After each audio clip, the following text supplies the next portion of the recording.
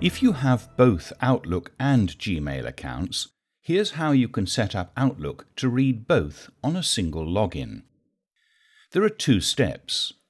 Google considers Outlook to be an unsecure app, so the first step is to tell your Google account to allow Outlook access. Sign into your Google account and go to My Account. Go to Sign In and Security and check Allow Less Secure Apps. That's it. Step 1 completed. Next, open up your Outlook account.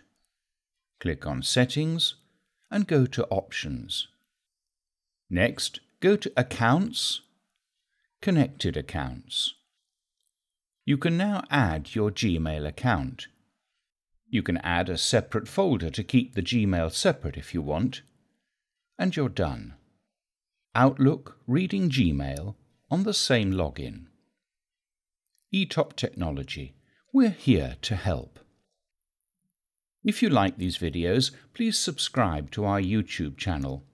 If you found this video helpful, check out some of our more recent videos.